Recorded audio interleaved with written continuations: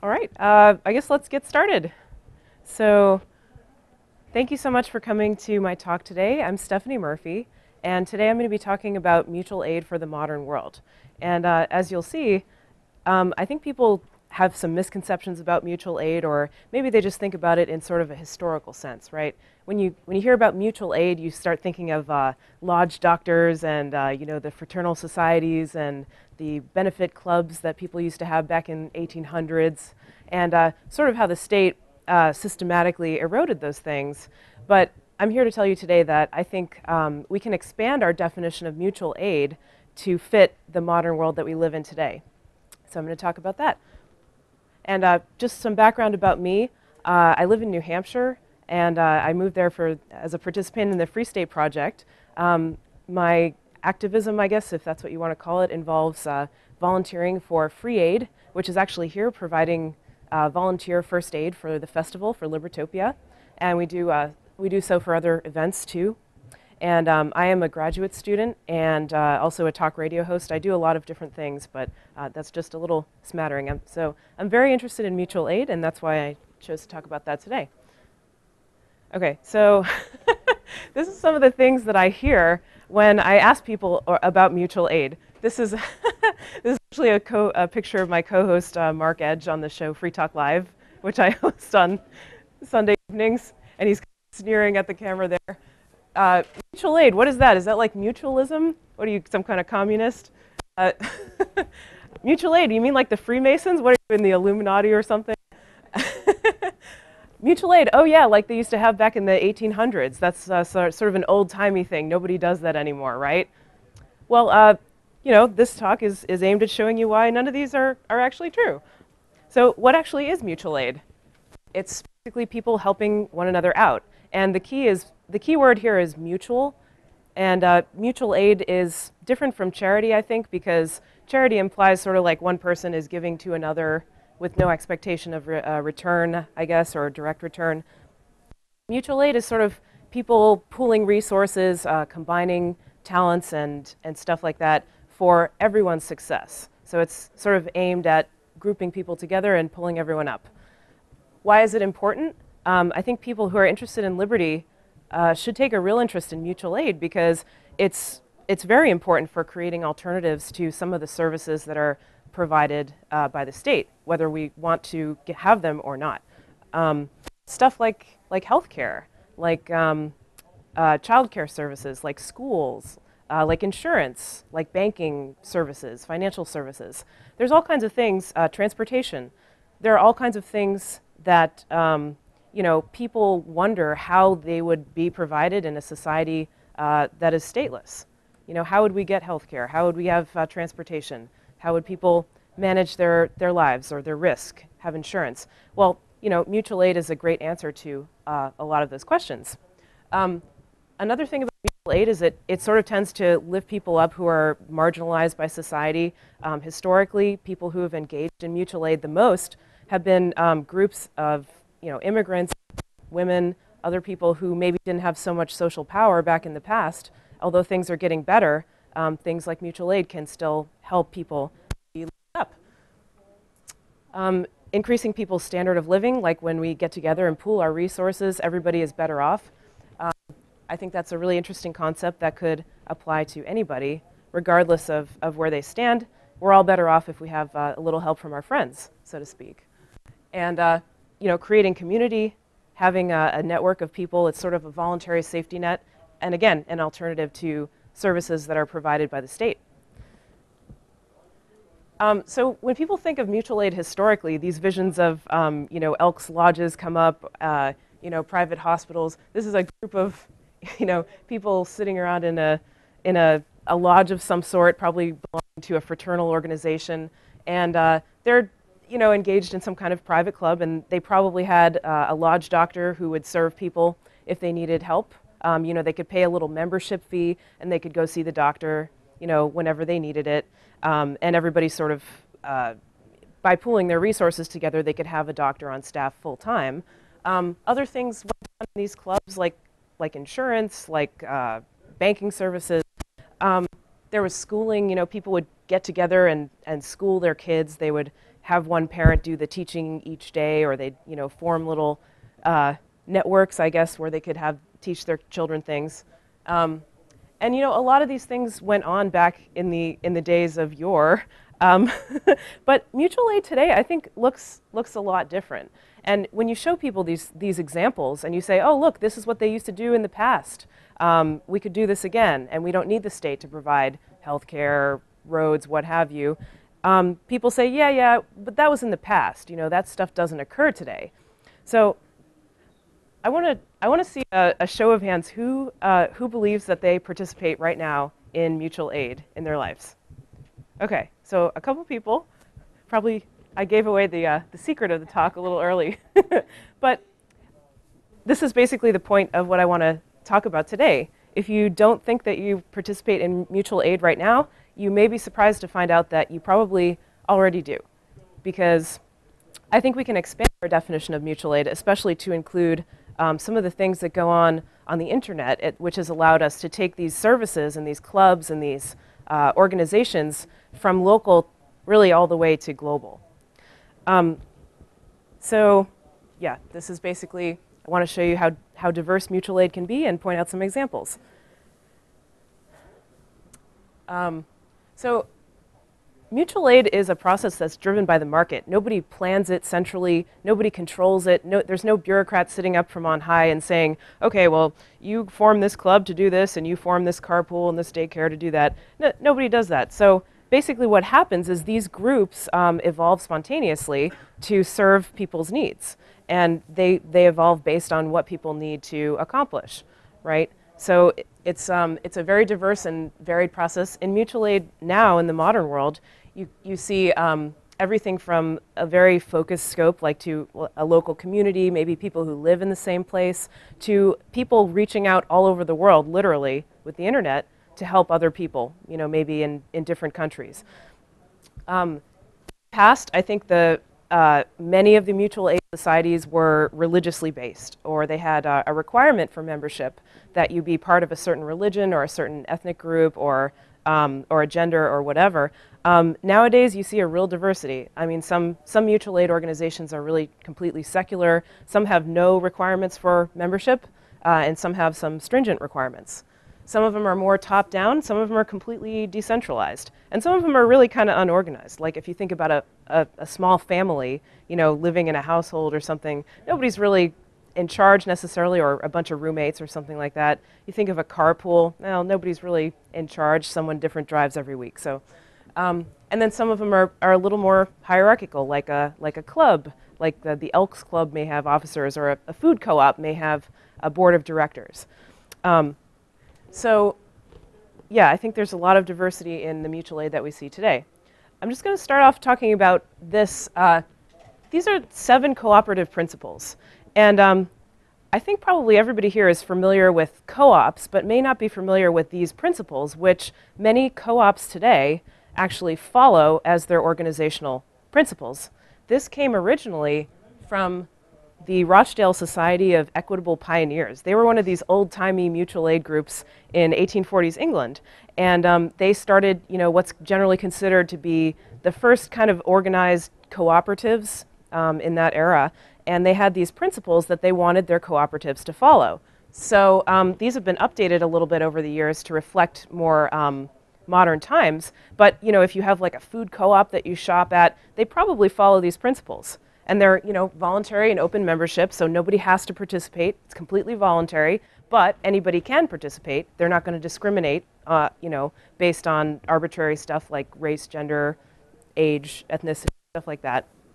There are motivations and rewards for participating, which means, you know, you get perks for being a member of the co-op because seeing as how it's voluntary, they want to encourage people to join. So maybe if you join a food co-op, you get dividends back, or you get um, other perks, or maybe just the benefits of knowing that you're uh, being involved in the community, something like that.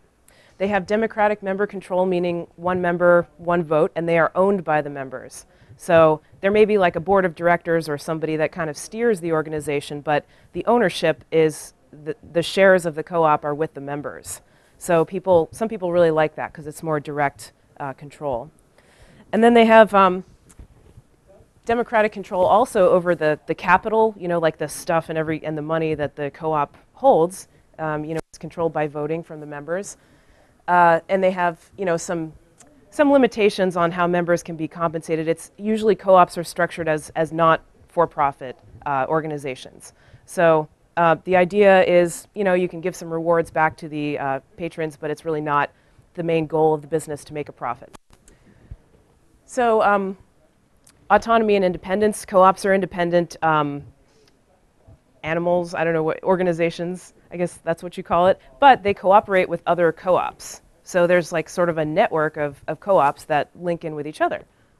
And then uh, concern for the community that's a, a, big reason that a lot of people join co-ops, especially things like food co-ops, if they're concerned about sustainable agriculture. That's sort of like in their in their guiding principles, concern for community. So um, I included a little slide here about the about food co-ops and CSAs. How many people have ever been a member of a of a CSA or shopped at a food co-op? Yeah, very very common. Um, CSA is, stands for Community Supported Agriculture. I don't know if you can see that; it's a little dark. But um, basically, the you know they're member owned, just like any co-op. Uh, the members will basically support uh, food producers, farmers, and uh, stuff like that at the beginning of, of the growing season, and then they will share um, the risks and benefits of, of producing the food. So, you know, if it's a crappy season and they don't get much food, well, they, they don't get much food, but they, you know, they, they, they sort of um, spread that risk over everybody instead of just, just belonging to the farmer. And if they have a great crop, if they have a bumper crop, you know, then they get extra food at the end of the season. And typically they get, they get a share of the produce every week of whatever's produced.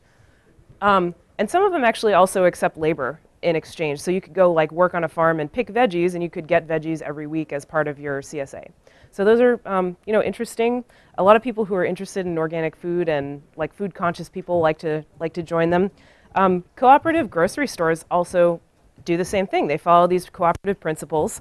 Uh, they're member owned, not for profit. There was a big resurgence in the 1970s of co op grocery stores, especially for people who wanted like more specialty ingredients or natural and organic foods. Uh, the, there was a huge wave of these coming back, and I think it's still, still pretty much growing. So those are really common examples of, um, I think, mutual aid, just people coming together and, and helping out, and everybody's better off. Um, school co-ops. Oh, thank you. Uh, so I skipped over this last little point that I had written down on the PowerPoint, which was uh, raw milk raids. Um, this is an example of how uh, government, I think, is still holding back uh, the idea of co-ops and of um, mutual aid in general. Uh, there have been a number of raids on these uh, food co-ops that get products like raw milk, which is actually illegal in some places. And uh, some people really like raw milk. I mean, it's, they say it tastes better, you know, it's better, it's healthier for you. And, you know, I certainly wouldn't want to use the state to stop them from drinking it, but um, there have literally been raids on, uh, on food co-ops and uh, people arrested, food seized, milk, you know, seized and taken away as if it's, you know, a brick of cocaine. so uh, a lot of people find that pretty, pretty ridiculous. I think the cocaine is ridiculous too, but anyway, yeah.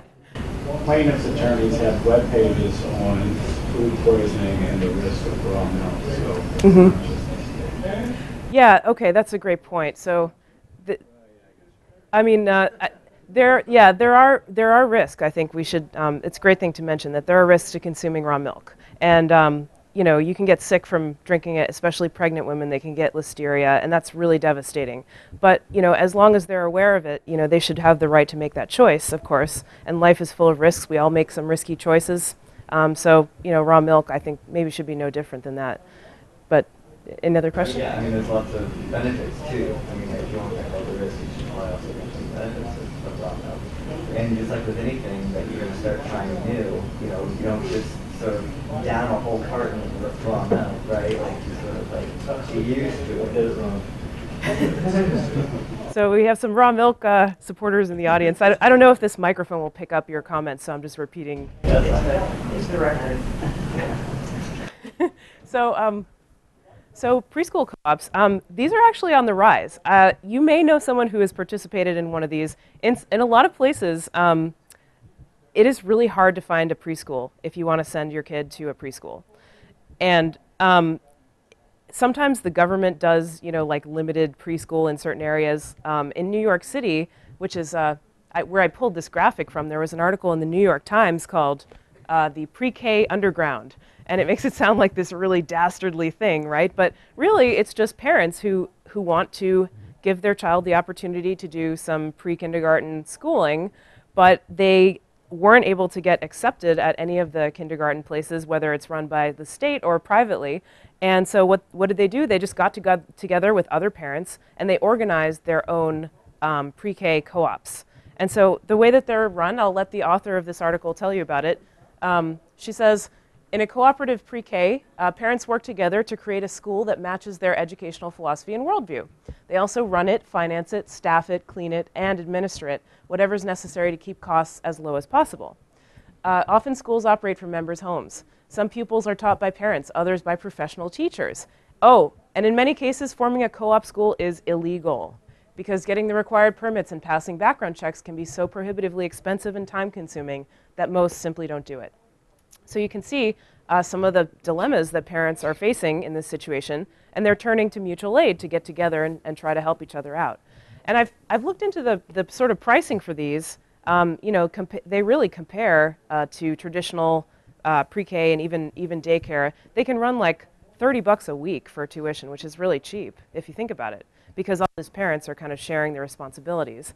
Um, and you can also have the opportunity, if you want to, you can get together with other parents who are who have something else in common, a common bond, as it's often called in mutual aid, something that ties you together, whether it's that you all live in the same city or the same neighborhood, or you all want to feed your kids organic snacks, or you all um, have a certain religion or something like that, or want to teach your kids Chinese or something, you can do it in a, in a daycare co op. And it, there's a lot more uh, flexibility because it's completely voluntary. Again, it's just people coming together. So um, I find those really interesting. And, you know, this happens too on a smaller scale. I've often seen um, parents get together at, at certain workplaces and they'll say, okay, um, this parent is going to take Monday off, this parent is going to take Tuesday off, this parent is going to take Wednesday off, and so forth. And then we're all going to watch each other's kids on the day off. And then they just share it that way and they don't have to pay for uh, costs associated with daycare. They have their friends watch their kids. Um, so I think that's definitely example of mutual aid. And it's completely voluntary. Okay, so cooperative banking.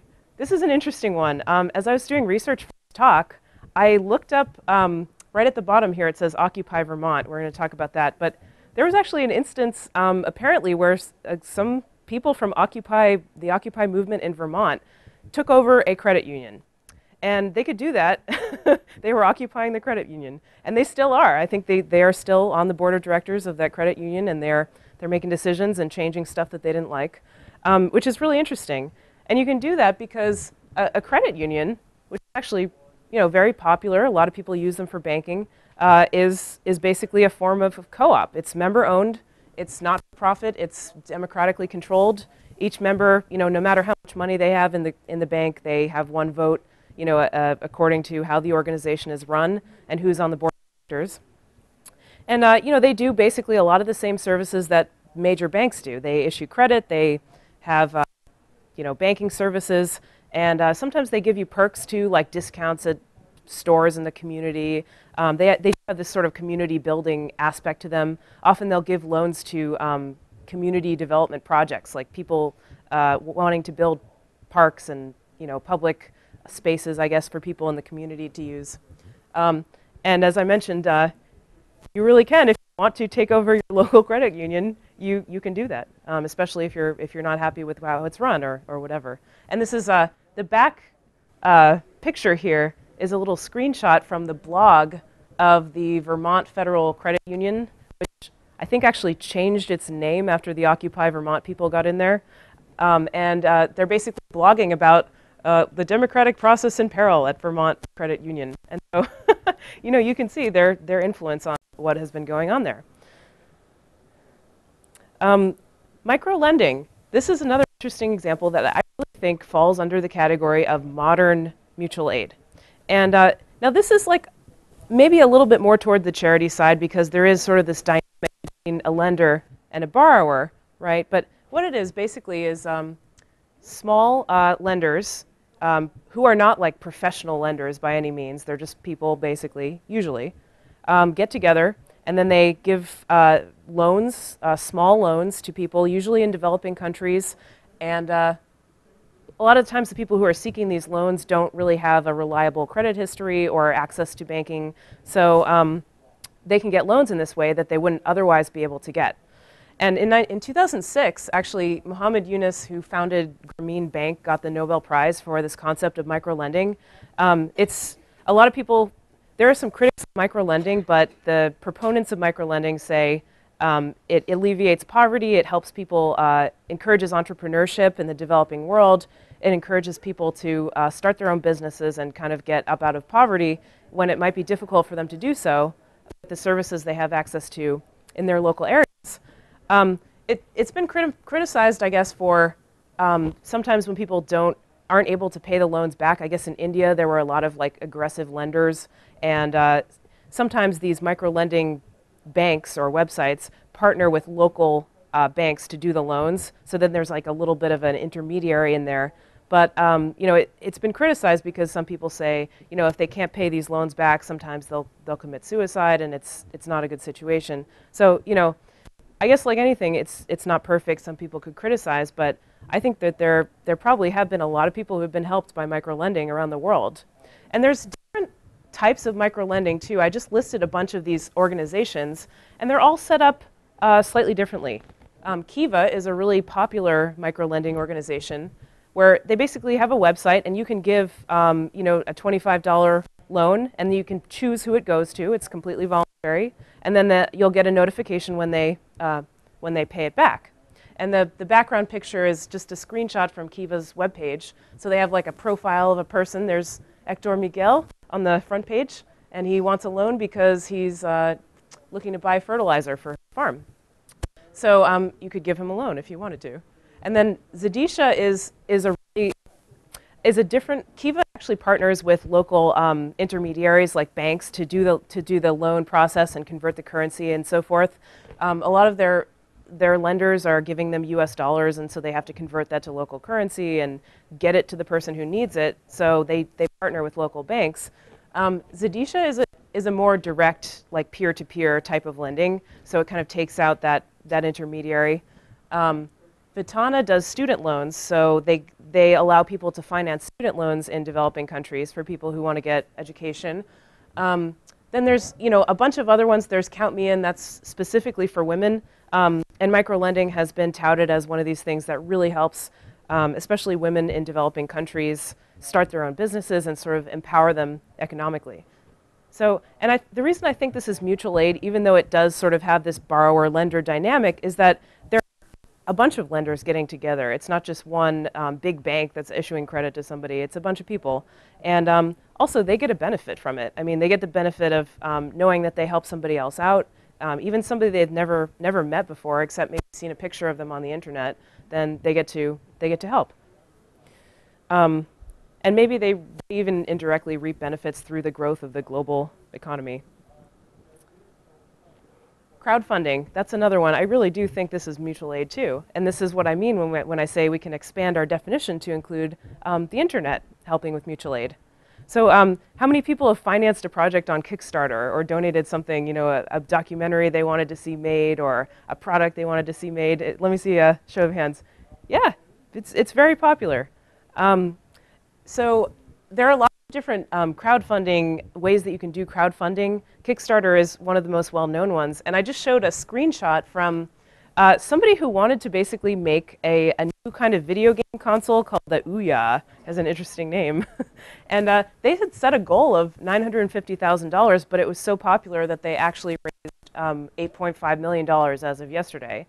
So this can be a very effective method of raising funds if you have um, enough promotion and, and if you have, um, if you have a, a, good idea that people like. So, um, and there have been all kinds of crowdfunded projects, documentaries, films. Um, I see those every day, people trying to get their movies funded on Kickstarter. Um, albums, artists are financed to make albums, startup businesses, tech companies, tech products. Um, even there was a girl, a four-year-old girl who had a genetic disease who actually, um, her parents set up a crowdfunding thing to sequence her genome because she had a genetic disorder, but they didn't know what the gene was that was causing this disorder. So they, they thought, okay, a good solution would be to sequence her entire genome. And so they, they did it, they got funded, and she was actually saved uh, by this crowd-funded sequencing of her genome. Uh, so, so that's cool. I like crowdfunding as a, as a kind of mutual aid. Um, Self-help and emotional support, these are huge. I mean, this is one of the examples of mutual aid that I think is often really overlooked. People getting together to manage all different kinds of things, whether it's drug addiction, um, you know, weight management, domestic violence, you know, HIV AIDS, uh, parents who, who have special needs for their children. I mean, all of these things are, are so huge. And if you've ever been, been involved or in need of any of these services or involved in these communities, um, you'll see that they're, they're pretty uh, prevalent, you know. And these are all private groups. These are just people getting together, helping each other out. It is genuine mutual aid in the, in the truest sense. Um, so that's another example. And, uh, you know, with the internet, I think some of these groups are going on Skype too. You know, like if there's an unusual disease, let's say your child has an unusual genetic disease and you want to find other parents who have the same disease and talk about treatments and so forth, then, you know, you can go on the internet now. You don't have to go to your local uh, hospital and try to find other parents. You can, you can go global. Um, and then, of course, there's the ever popular Neighborhood Watch. It's gotten a lot of, uh, I guess, negative attention recently because of the Trayvon Martin situation and George. And, you know, it's not, I guess that situation isn't really what Neighborhood Watch were originally about. Um, in the 1960s, there was this lady, Kitty Genovese, who, who was stabbed, and I think she was actually raped too, in Queens. And uh, there were possibly 38 neighbors who could have helped but didn't. Um, and so this became like a really pop, uh, a really um, famous example of uh, the bystander effect, right? When people uh, know that there's a crime going on, but they think, oh, there's all these other people around who might be able to help, so I, I'm not going to do anything. And you know, maybe that didn't exactly fit her situation, but regardless, there were a lot of neighborhood watches that organized in response to this. And you know, a neighborhood watch I think can be anything from just people walking their dogs, you know, to to a more organized and formal thing. Um, and the more neighbors that are around, the more they can kind of look out. And it's really it's really meant to like deter attacks. It's not meant for people to intervene. I guess that's the original point of neighborhood watches. Um, although there was this this case that people point out with George Zimmerman uh, as an example of sort of vigilante. And then finally, oh, this is not really showing up, but there are some kinds of mutual aid that are you know basically specific to women. And uh, I looked up. Um, I was doing some research for this, and uh, I found some some resources, like if you go to, uh, there's one website that lists all kinds of free clinics for women's health in New York City, and you can network with the, the healthcare providers, you can join the network if you are a provider, um, and it just lists kind of places people can go. Um, of course, intimate partner violence, that's huge um, for people to have a place to go if they want to escape um, a home situation that's not good. And um, transitional housing if they need a place to stay. Uh, business collectives in the developing world, and and all over the place, really. Like there are, there are some challenges, I guess, for women in business, uh, even in the developed world. And so, you know, they can network together and try to uh, find ways to help each other succeed. And then um, I just threw this in here. Um, I was doing some research for this, and I found a DIY gynecology pamphlet, which I thought was interesting. You know, I, this is an example of mutual aid. I don't know if all the advice in there is good. It did say to stick a piece of parsley in your vagina if you want to cure something. Uh, so um, buyer beware, but, um, but it is out there. This, this kind of stuff exists, and um, you know, I think it, it could help people. Some of the stuff in there is good. And then finally, you know, I think on a small level, stuff like uh, shared housing, and uh, I'm just going to look at the time. Okay, we're, we're, I think we're okay on time so far. On a small level, stuff like, you know, getting a bunch of roommates, if you're in school studying with a study group, uh, sharing textbooks, because they can be so expensive. The textbooks are kind of monopolistic in the way that they're uh, done with intellectual property and stuff. Uh, even carpools, which are really common, neighborhood associations, all of these are, are mutual aid on a, on a small local scale. So this stuff is, is still going on. Um, and it's just, you kind of have to expand your definition and know where to look for it. And best of all, all these are completely voluntary. So I've shown you uh, several different slides of all these ways that people are helping each other out right now in the modern world, even if they don't know each other, even if they're disconnected by, by a lot of distance, they live in different countries, um, they're still able to help each other out. And, uh, and these are all completely voluntary. So um, that's it. This is, um, if you want to hear more of my work, you can uh, check out the free aid booth. We're down there doing um, volunteer first aid for the festival. We're also a networking organization for liberty loving healthcare professionals. If you want to uh, meet other people who work in the health field, you can network with free aid. And we do uh, CPR education and outreach, which is, I think, you know, if you know CPR and somebody, you're somewhere where somebody needs it, that could be a really uh, great way to help out. I have a podcast called Porc Therapy. It's a, it's a weekly uh, radio show, and then I do bonus content. And then I also am a Sunday night host of the show Free Talk Live, which is a nationally syndicated radio show. And uh, another shameless plug I recently uh, created an audiobook. I narrated and produced an audiobook of Markets Not Capitalism. You, you may be hearing about it. I think tomorrow there's a panel on Markets Not Capitalism with uh, some of the authors and the editors of that book. Um, and I have a free audiobook that's available for download if you're interested. In that book, there are lots of essays about mutual aid and about, um, you know, kind of grassroots people helping each other out. And so you may be interested if you, if you were interested in this talk.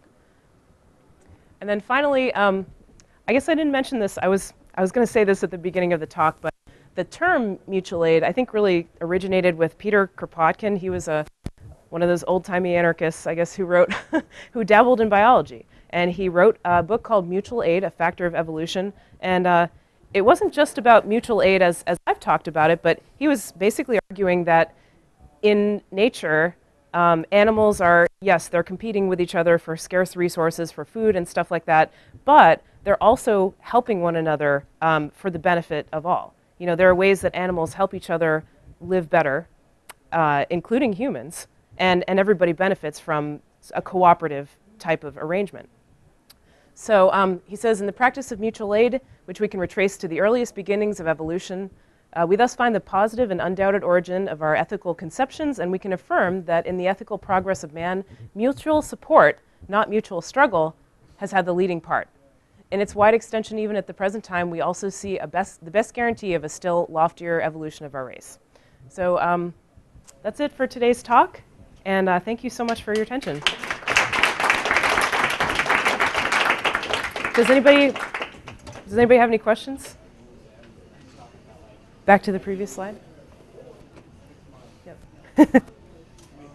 Question? One issue is whether or not people involved in the process are friends or have a face-to-face relationship. Mm-hmm. You might almost divide that, the whole field that way because like on the micro lending, that's the problem they got into. The original theory was you had a group of women that were part of it, and so they were all responsible. So they lent other women they knew, and the woman who borrowed knew the women were expecting her to pay back and so forth. Mm. So when it became more like commercial and distant, then that bond got lost. So one of the strengths of mutual aid is the personal tie yeah, so I'm just going to repeat repeat your comment because I think the microphone will only pick up my voice. But uh, you basically said that it's you know one of the original strengths of mutual aid is the face-to-face connection and the community building aspect. And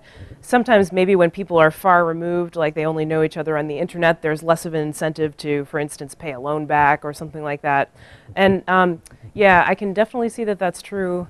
I think there are there are also other benefits, though, that come with um, maybe some of the more distance types of mutual aid, which is that um, basically you have a wider pool of lenders, you have more people available to help out.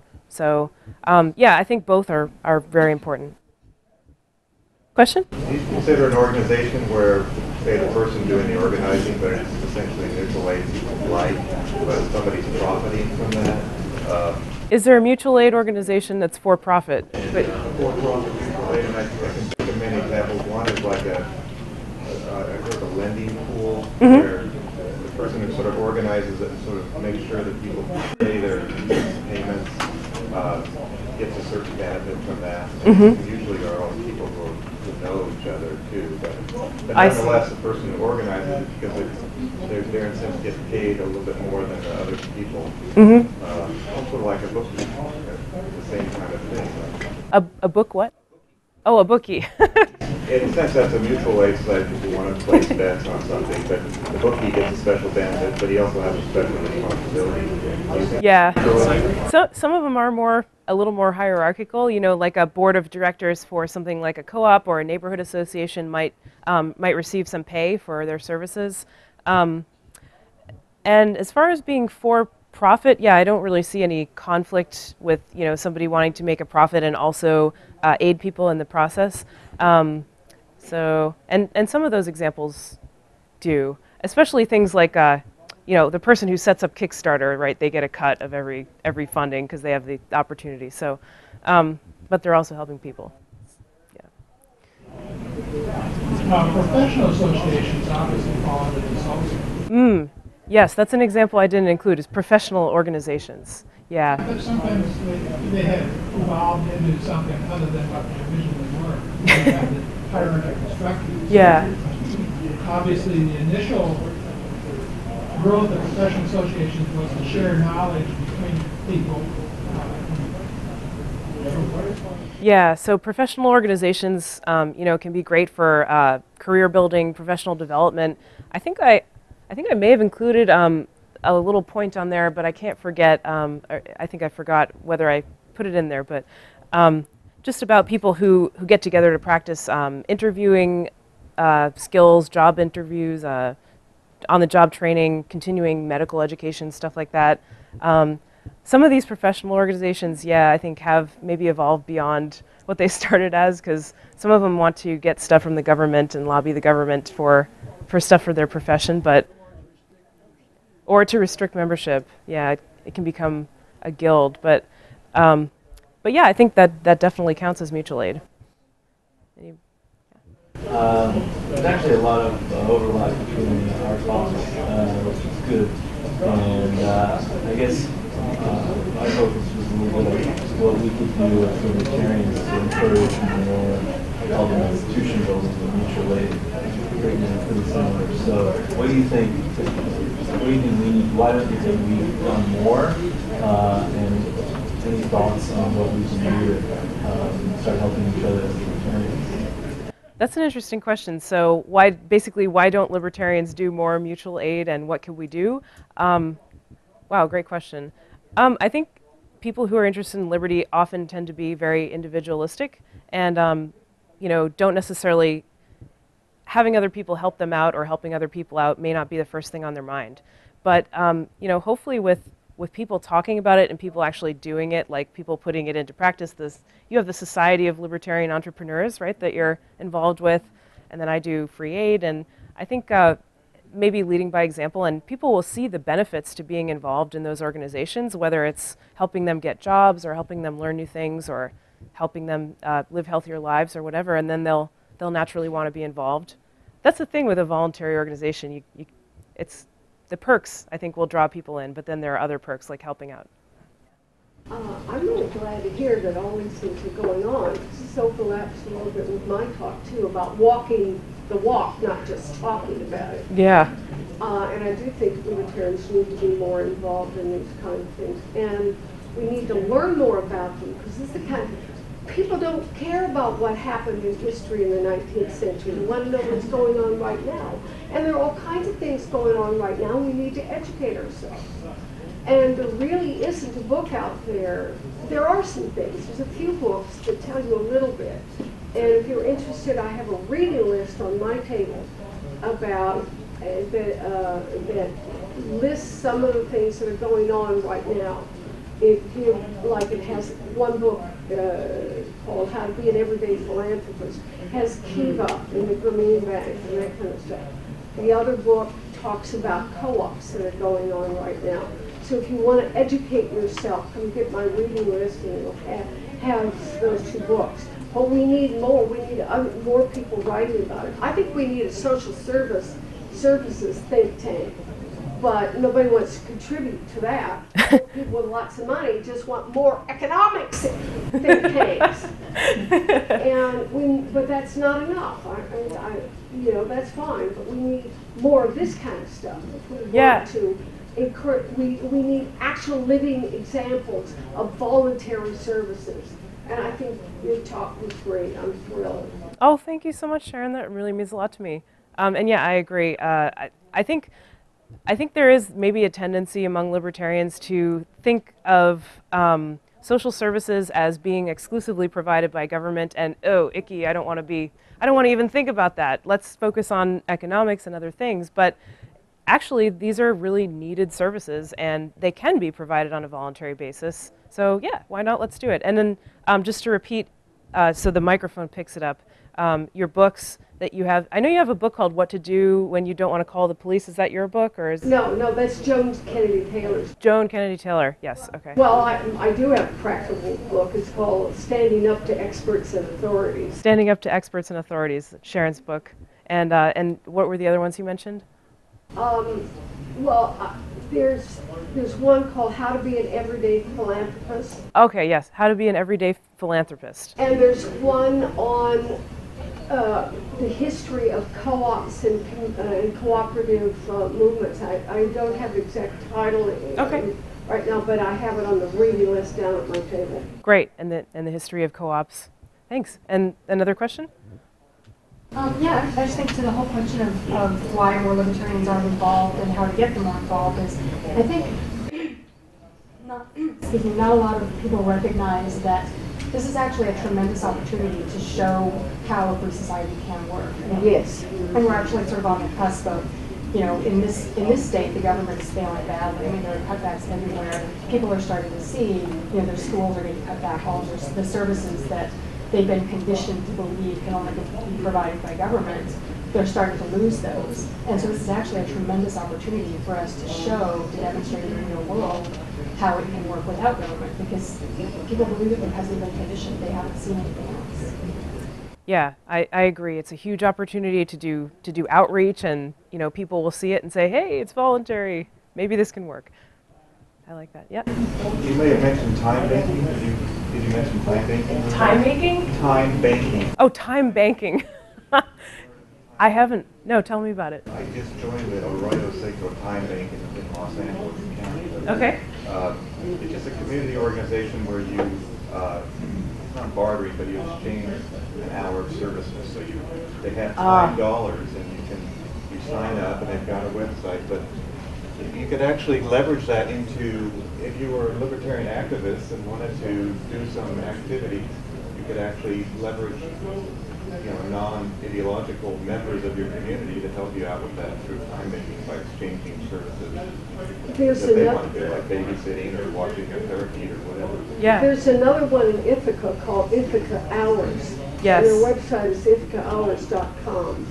And IthacaHours.com. Yeah, that I've heard of Ithaca Hours before, and I just didn't associate the the term time banking with it. But yeah, it's basically um, bartering services essentially, right? And there's kind of a they have a local currency that's good in for it, for any place that will accept it. great. And uh, I've just learned, it's one of the organizations I just learned about in that book on cooperative movements. So that's on my reading list. So it's really amazing what's going on. It's all being done by the leftists, not being done by libertarians. Yeah. They're too busy talking about how Austrian economics will save you. All right. Well, I think that's a good note to end on. And um, next is Teresa Warmke. She is the uh, treasurer at Free Aid. We work together. I'm so pleased to um, have Teresa as a co-organizer and work with her. And uh, she's going to be talking about, uh, well, something sort of similar, uh, but it's more how to empower yourself to make uh, healthcare decisions without uh, trusting the FDA. So thank you so much again. Appreciate your time.